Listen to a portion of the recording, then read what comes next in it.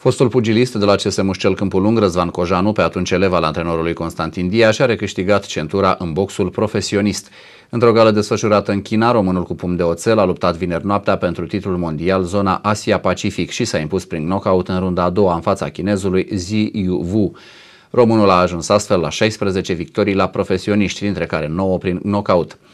Originar din comuna Voinești, Dâmbovița, Răzvan Cojanu este stabilit în Statele Unite ale Americii, patria boxului, acolo unde a și debutat la profesioniști în 2011.